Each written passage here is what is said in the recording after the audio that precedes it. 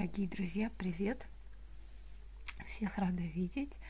Если вы перешли, а, пришли впервые на мой канал, а, вас привлекло название ролика, то я вас приветствую и а, объясню, почему, чем вызвано это видео.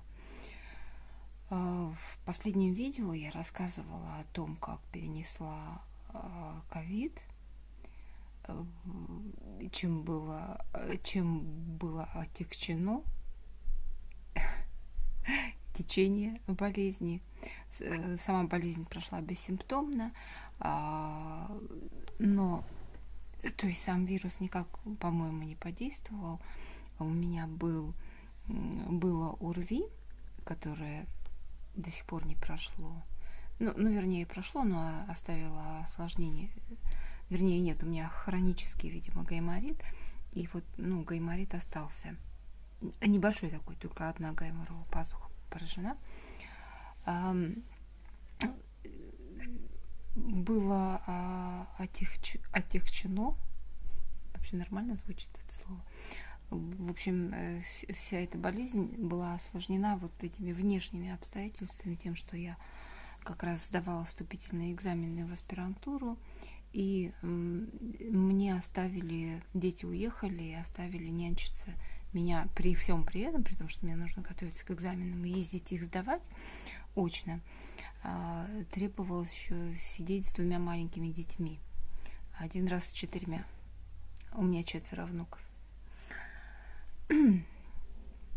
И вот, эм, ну, вас, зрителей, не так много – посмотрела. Но вот тем не менее, и в основном у меня мои зрители, те, кто ко мне относятся весьма доброжелательно.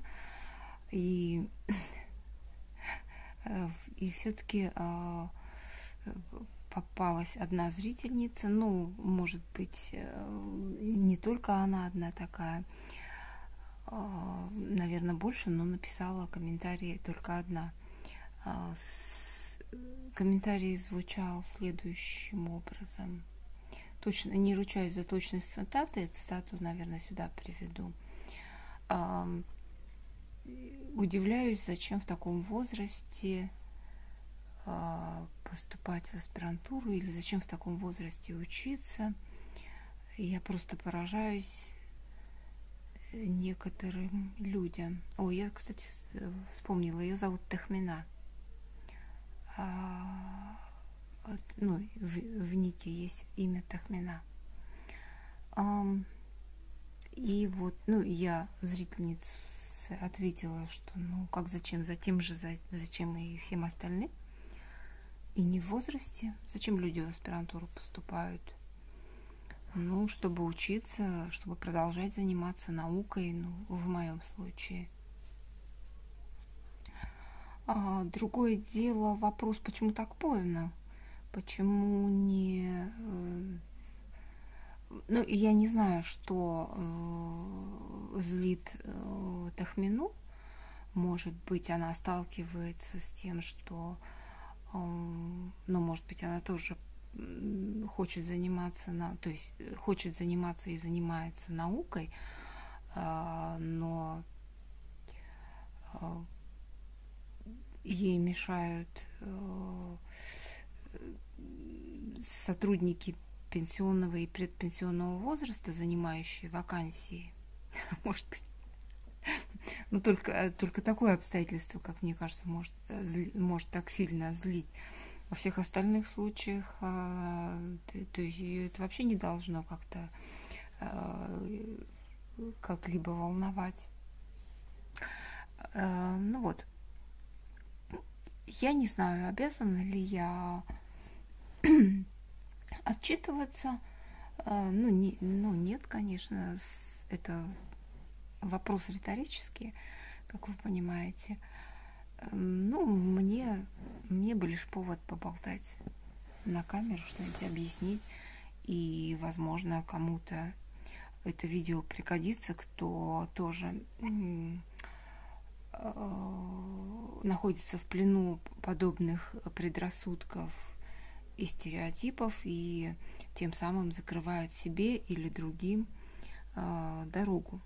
Вот, вот что нехорошо. Не, нехорошо находиться в плену этих предрассудков, когда они тормозят тебя. Ты могла бы э, что-то, чего-то добиться, э, что-то сделать для других, а какие-нибудь эйджистские предрассудки тебе помешали это сделать. Время упускается и дальше становится, ну, то есть возраст он не убавляется, он добавляется, то есть чем больше ты тянешь, тем а, убеждение, что в возрасте не нужно ничего э, такого, чего-то такого делать, э, ну, в определенном возрасте нельзя чего-то такого делать, что можно в другом, оно еще сильнее становится более действенным, более явным, если принимать его за истину. Ну, вы поняли, короче говоря. Если, если тебе говорят, зачем тебе в 55 лет поступать в аспирантуру, ну, подумай, что люди скажут, всем будет смешно. Мне будет стыдно за такую маму, бабушку, дочь. Вот, если на это обращать внимание, то в 56 лет, в 56, в 57, 60, 70 этот аргумент будет еще более сильным. Вот. Ну, что касается лично меня, я бы сама тоже, я не такой уж смелый человек и вовсе не ставлю целью во благо других бороться с предрассудками и собственным примером показывать, как надо. Меня в такую роль поставили обстоятельства. А в то время, когда мне было там, ну, когда я закончила институт, это было 23-24 года, а был 89 год, ну то есть на пороге 90-х я стояла, когда вообще все, вся экономика, и э, не, не только экономика, но и государство полностью развалились. И я со своей специальностью экономист геолого-разведочных работ себе применила. И э, работать я не могла. То есть, ну, некуда мне было встроиться. К тому же мне, в общем-то, больше э, у меня был один ребенок, потом родился в 90-м году второй ребенок, и э, у меня, собственно, было чем заняться, э, кроме работы, и я с удовольствием растила детей, наслаждалась их младенчеством, ну и вообще детьми наслаждалась. И так я их вырастила, в общем, я толком не работала нигде, пока они не закончили школу и университет. В общем, освободилась я к этой э, какой-то либо деятельности к, к тому времени, когда они закончили институт, университет, получили высшее образование. Ну, собственно, в этом я ничего вообще плохого не видела, меня это не тяготило. Жила я в Казахстане, в городе Актюбинске. А, работал муж. Я э, немного занималась предпринимательством, коммерцией, что называется, чел, челночеством. Сначала а, мы ездили с мужем, потом он нашел работу. Он геолог, кстати, а, и тоже в геологии, из, из геологии он как-то выпал. А, он э, нашел работу в транспортной брокерской компании. А, и затем после этого он занимался строительством. Ну, сам был предпринимателем. А, вот, а я сидела дома, и у меня был небольшой отдел в магазине, где я продавала сувениры, за которыми сама ездила э, в Москву сумками с баллонами. Ну, это продолжалось, ну, довольно длительный период, но когда дети закончили школу, у меня уже не было. То есть мне это ну, скажем так, это просто занимало мое рабочее время и немного-немного давало денег на хлеб. То есть каких-то больших накоплений мне не удавалось сделать. Ну, вообще, чтобы быть предпринимателем, нужно обладать э, таким некоторыми способностями к этому. Э, не столько даже В общем, немного мне не хватало жадности, немного мне не хватало умения управлять, командовать другими людьми. А, и всерьез я не рассматривала. Если бы я была вынуждена одна кормить детей, я бы, конечно, а, а поскольку я полагалась на мужа, то я просто занималась этим в свое удовольствие. Вот так будет правильно сказать. И вообще во многом вот этот инфантилизм, он а, мне мешал или помогал, ну ладно, не буду давать оценку, мешал или помогал, он присутствовал, есть во мне. А, если, конечно, я жалею ли я сейчас, что тогда не пошла и не стала заниматься наукой, ну да, жалею. Но в тех обстоятельствах, где там в Актюбинске заниматься наукой, ну да, там есть э, там есть два хороших вуза, которые с советских времен еще остались. Даже три. Но один из них э, летное училище, мы его не, не берем в расчет для меня. Я там не знаю, куда бы я там могла встроиться. А вообще, конечно, заниматься научной работой можно было бы и в этих вузах. А, но Вообще, живя в Актюбинске, я не смогла устроиться на работу.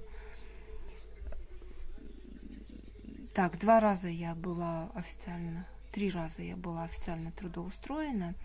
Первый раз я действительно через бюро трудоустройства, Центр занятости, а, получила работу, с которой через три месяца вылетела. То есть как легко взяли на работу, так и очень легко избавились от меня. А, взяли меня главным бухгалтером, но я бухгалтер, я экономист, бухгалтер я вообще никакой. Ну, то есть надо бухгалтерский учет знать, чтобы работать. И не справилась я с этой работой. Э, затем сделай потише немножко, Нараш. Э, затем э, в следующий раз я уже, когда дети закончила, закончили школу, наконец э, устроилась к знак, знакомой мужа с помощью знакомого мужниного одноклассника устроилась на работу в стат управления. Это была очень хорошая работа, она мне нравилась во всех смыслах, кроме того, что там мало платили. И еще меня одно не устраивало, что это не по моей специальности. Мне все-таки хотелось реализовать свою, э, реализоваться по той профессии, которую я получила, закончив э, Московский вуз. Да, закончила я Московский геологоразведочный институт, который сейчас называется Российской государственной геологоразведочной академией, по-моему, так, или университетом. Угу. Вот. И, и вот, когда я проработала полтора года в статуправлении, одна знакомая меня пригласила. К тому времени геология, да, более-менее стала вставать на ноги. Она, конечно, уже перестала быть такой целой большой отраслью, хорошо финансируемой народного хозяйства. Это, это в основном такие работы прикладного характера, то есть есть нужда в геологической разведке. Ну и вообще сама структура поменялась, вот эти понятия, все стадии геологоразведки уже теперь не те, э, которые нас учили. Но суть не в этом. В общем, меня взяли в эту геологоразведочную организацию, где я работала по специальности. экономисты в геолого-разведочной организации выполняют, э, ну, то как, то, как нас учили, выполняли разные функции. То есть это был отдел труда и заработной платы, где занимаются разработкой тарифов, э, ну, в общем, где тарифи, тарифицируют геолого-разведочные работы, ну, то есть как оплачивать тот или иной труд, а, по каким тарифам вот этим занимаются, разработкой этого занимают, занимались экономисты труда и заработной платы и считали по этим же тарифам, они начисляли заработную плату. А, а другая сфера деятельности – планирование. Планирование и организация. И тем и другим в этой организации, в которой меня взяли, я а, занималась. Другое дело, что статус какой-то был такой немного размытый. Было непонятно, чем заниматься. В организации тогда не было юриста, и, например, сбором документов для тендеров, для участия в тендерах занималась тоже я. Опять же, по-моему, полтора года я оттуда ушла, меня сократили. А, ну, сократили это официальная версия, на самом деле я э, не поладила с э, директором. Нет, не так, не, не, не поладила. Мы с ним все время гавкались. Это а, уже стало как бы нашим стилем общения. К этому э, как-то не мы оба привыкли, хотя нам обоим это не нравилось. Мы хотели уйти от этого сложившегося стереотипа, но нам не удалось. А, Да. Да, прокололась я один раз считала. Ну, в общем, э, работы выполняются, как вот, заключается договор на определенный объем работ, и затем он э, оплачивается либо разом, согласно договору, либо поэтапно. Ну, в общем, так, как, э, как, договор, как сумеете договориться. Вот нужна сейчас организации а, нужны деньги, вот они с заказчиками договариваются, вы нам сможете оплатить такую-то часть работы. И там а, я расписала объем работ по факту, а нужно было смотреть, как по проекту должно было быть. И получилось так, что я закрыла определенный объем на определенную сумму по факту, а метры ну, там э, бурение, допустим, определенные категории, э, породы, определенной твердости тарифицируются определенным образом. И по договору, согласно договору, были одни метры, э, столько-то метров такой категории, столько метров другой категории, какие-то дороже, какие-то дешевле. И, а, а я закрыла по фактическим, ну, как мне геологи дали, я так и закрыла. И получилось, что дальше, когда остаток мы берем договоров, э, а оставшиеся метры, вторую часть договора, чтобы закрыть, э, а, у меня не осталось нужных метров, и я на эту сумму оставшуюся не выхожу. И я об этом докладываю директору, что делать. Если бы я знала, что это так обойдется, а, что это для него станет поводом меня уволить, то я бы, конечно, посидела, подумала, покрутила бы так и эдак, нашла бы, как объяснить это, сформулировать правильно, и вышла бы на нужную сумму. Но поскольку директор, ну, я сочла нужным поставить в известность директора, вот я и сама, сама подрубила тот сук, на котором сидела. В общем, не надо быть... Э, в общем, хитрость надо включать. И вообще вот эта вот моя склонность к правде, к честности меня часто подводила.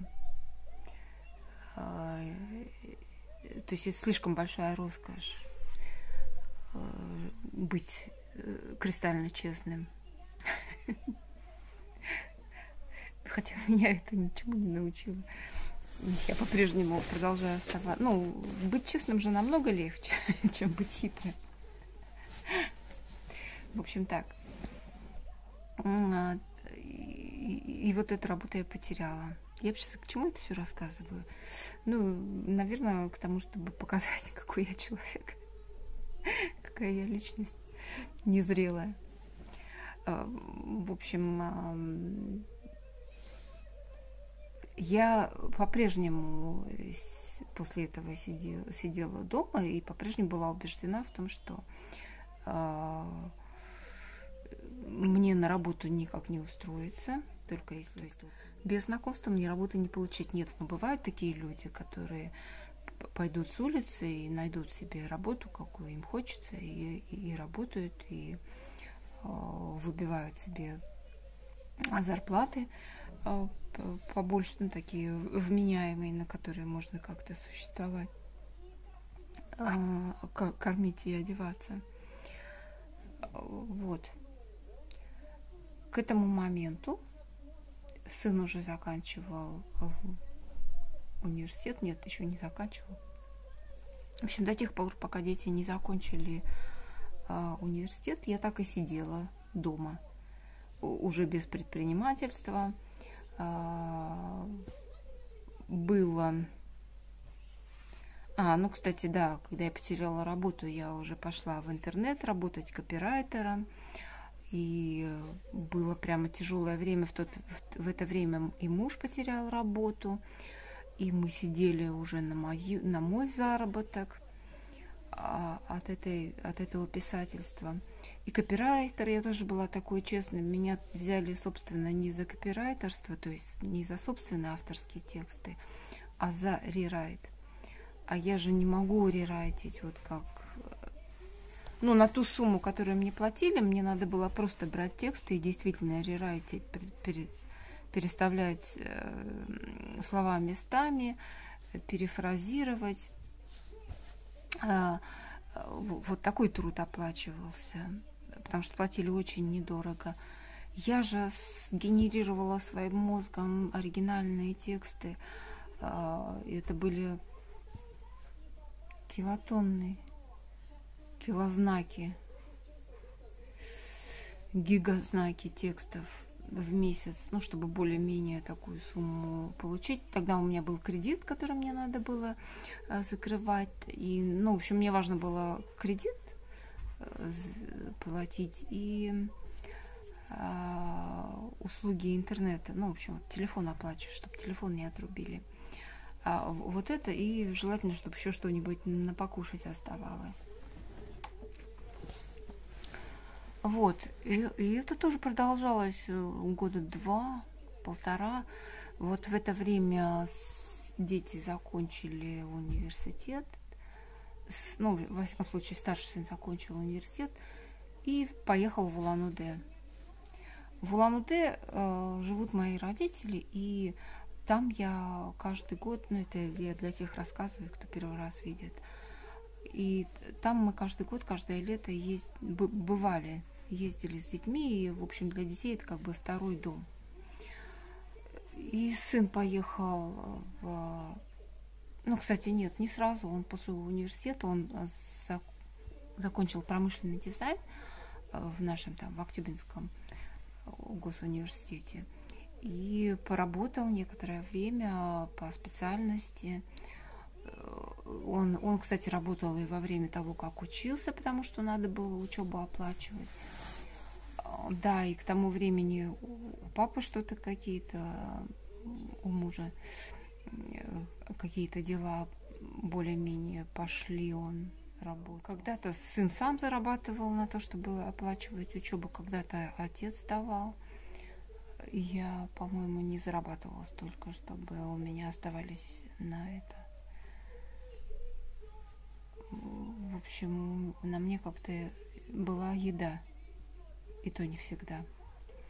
На мне был интернет. Он мне, собственно, больше всех нужен. Таким образом, а, получилось, что дети перебрались постепенно в Улан-Удэ. Через э, некоторое время, в то время, вот в 2013 я уже стала э, у меня появился вот этот блог, а, и дети, в общем, а дети в это время были в Улан-Удэ. В 2013 году они решили жениться, они женились на э, местных девушках э, улан-удэнках. И, в общем, получается, тут они бросили корни, пустили. В Актюбинске мне стало совсем нечего делать.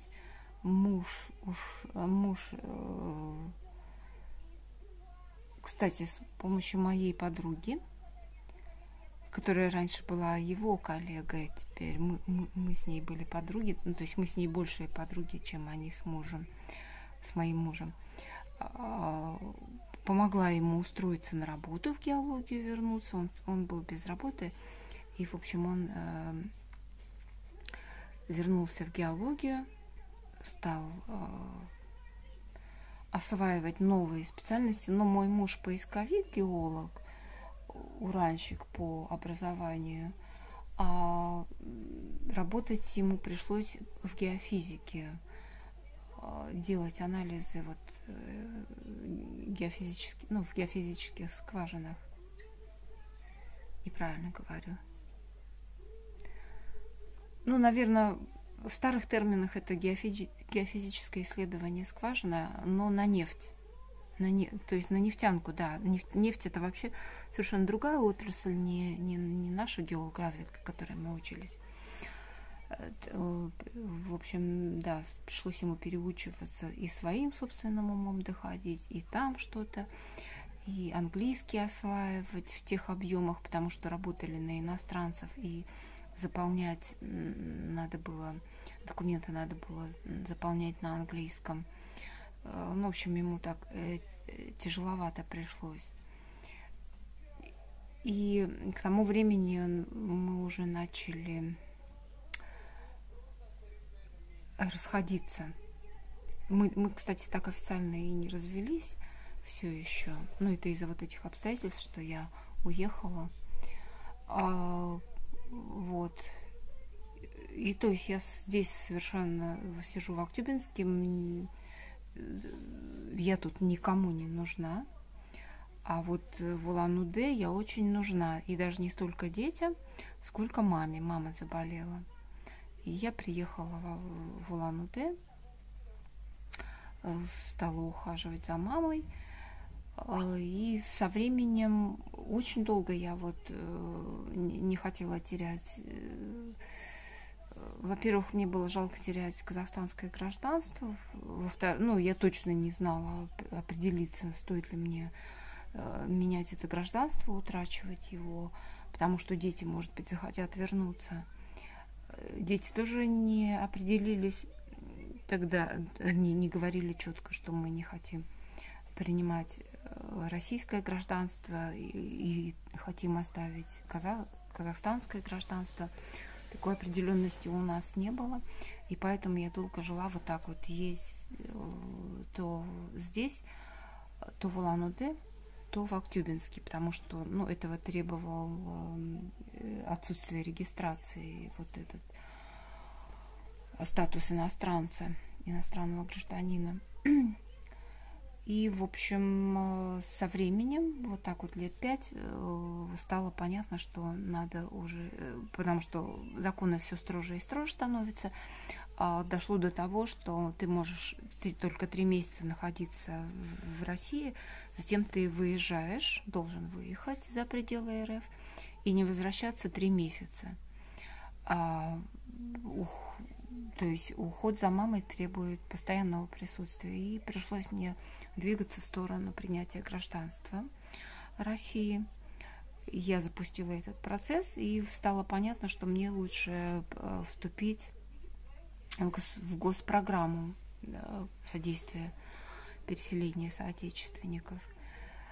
И когда я спросила в миграционной службе, что мне, э, ну, что я хочу э, вступить в программу, они сказали, а что у вас, вот, ну, какая специальность, вам нужно, в общем, чтобы быть в программе, вам нужно обязательно уже быть трудоустроенным официально, по той специальности, которую вы показываете в программе.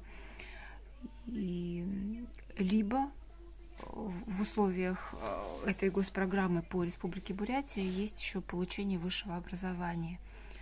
Меня все время этот пункт э, ставил в замешательство. Как же получение высшего образования, когда оно у меня есть, какое еще? И, в общем, э, и совершенно случайное обстоятельство, когда я узнала, что сестра учится в магистратуре, ну, она так по-тихому, не особо афишируя, поступила в магистратуру, и я подумала, я тоже хочу. И вообще я всегда хотела заниматься историей, вернуться в науку, только я не представляла, что это возможно в таком возрасте, уже близком к пенсионному. А, и было решено, что я буду поступать в магистратуру. Э, как-то заочно можно было подать документы еще с весны, и я как-то зашла на сайт университета и подала заявление. Но официально приемная комиссия начинает работу с 20 июня, и тогда же в тот же день мне и позвонили и сказали нести документы. Эм, вот, в общем, так запустился процесс. Причем не сразу. Первый год я пропустила, второй год я тоже что-то там не, ну, еще не решилась, потому что трудно же решиться действительно в таком возрасте. В общем, прошло еще два года, когда я подумала, что это возможно, и когда дошло до дела. То есть время уходит все время, все ближе и ближе к пенсии. Спасибо Путину, что запустил вот эту пенсионную реформу и отдалил пенсионный возраст огромное спасибо тебе, Вовочка. Вот. И, короче говоря, вот так я стала э, студентом магистратуры. И, ну, то есть обстоятельства меня вынудили к этому. Когда я непосредственно уже работала над э, своей темой, над, э, над своей диссертацией магистрской, а, меня это чрезвычайно увлекло. И мне стало понятно, что да, заниматься научной работой э, для меня возможно, и пофиг, что возраст. Я как-то... Я вообще первый раз... Я когда поступила в университет, я первый раз 1 сентября, не помню, какого октября у нас начались занятия, может, 15, а может и 1. Эм, э, я, я боялась туда идти в университет. Думаю, как я такая приду, такая старая. И когда я дописала э, и успешно защитила э, свою диссертацию, во-первых, меня увлекла тема, потому что ее на... захотелось дальше ее продолжить, работу над ней. А, во-вторых, э, когда, ну, когда встает вопрос об аспирантуре в этом возрасте, это как-то уже не так смешно, как э, магистратура. Хотя мне уже и магистратура не смешно. В том плане, что ну, ну, ну да, поступать в аспирантуру, может быть, да, это больше свойственно людям 30-летним. Защищать, защищать э, кандидатскую в этом возрасте вроде не так стыдно, не так стрёмно. Вот как я рассуждаю. А когда я уже защищу кандидатскую, я полностью сравняюсь со своими ровесницами и ровесниками. Вот. Только три года потерпеть и поработать как следует. Почему папа возражал? А, и, ну, э, что я э, пойду туда же, в ту организацию, где он работает. Эм, люди э,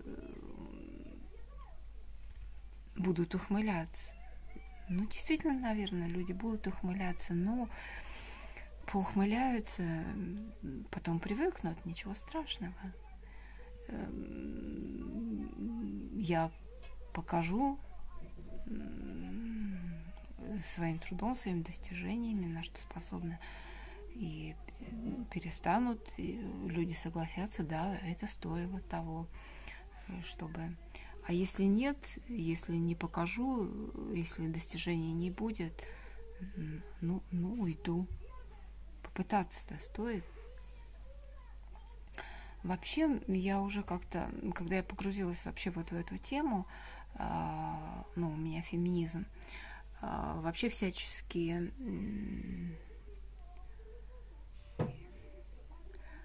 всякого рода предрассудки, угнетения, дискриминация по, там, по тем или иным признакам а, встали для меня в один ряд.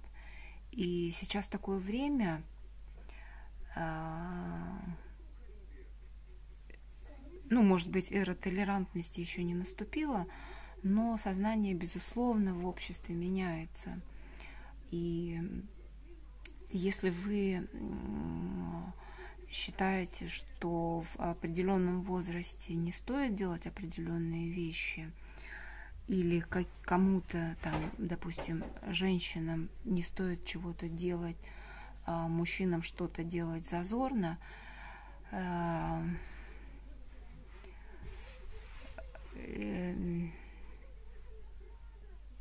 и тем более, если вы там нетолерантные и проявляете это публично, свою нетолерантность а, к людям а, определенной или нет, или даже неопределенной сексуальной ориентации или самоидентификации гендерной, то вы остаетесь в прошлом веке. А мы все остальные идем дальше. Вот так. Вот так сейчас наше время устроено. Я живу вот в этой парадигме. А, и многие так живут, и уже не совсем прилично становится как-то публично заявлять обратное. И хотя все иные, согласно а, с нынешним взглядом, ну, в частности, это у Фукуямы, и в его работе «Идентичность», а, а, освещается, обсуждается хорошо, детально, Люб... что все объясняется идентичностями, а, что непризнанные идентичности хотят признания, и что вот даже все обратные явления, и вот все вот эти вот экстремизм религиозный, либо то, что там реднеки избрали Трампа, а, или Брекзит, или а, недовольство а, мощной волной миграции в Европу.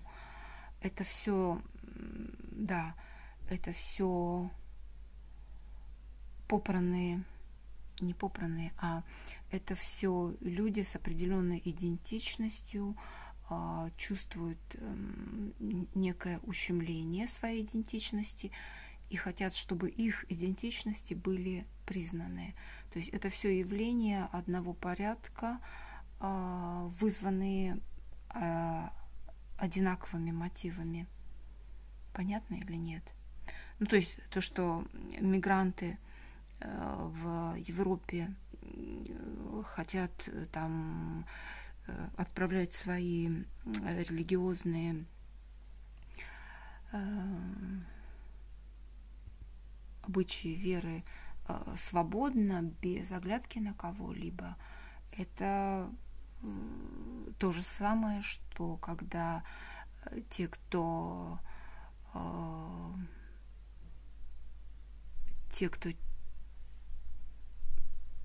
боится э, слишком большой экспансии, э, ну, экспансию возьму в кавычки, э, миграции, иностранной миграции в их страну, боязнь того, что их идентичность будет попрано и все размоется, то есть мы как бы мы европейцы перестанем быть европейцами, это явление одного порядка. Это все то же самое. Вот. И э, как это относится ко мне, ну то есть, э, э, то есть если я достигла возраста 55 лет, это не значит, что я не хочу учиться, Это не значит, что мой мозг не способен а, выдавать эм, что-то полезное для науки, для развития науки, э, что я не могу своего слова сказать, э, ну, внести свой вклад в науку. Вот что это значит. Поэтому перестраивайтесь, смиритесь. И феминизм уже наступил, и и люди в возрасте могут делать, люди в определенном возрасте могут делать то, что люди в другом возрасте. В общем, вот так вот. Нет дискриминации. Ну, по-моему, я все сказала, что хотела. Извините, что длинно. Может быть, вам было не так уж неинтересно. Я очень на это надеюсь. Ставьте лайки, подписывайтесь на мой канал пишите все, что вы думаете по этому поводу, потому, по поводу того, что я сказала. И жду вас в следующем видео. Пока. С вами была Аюна.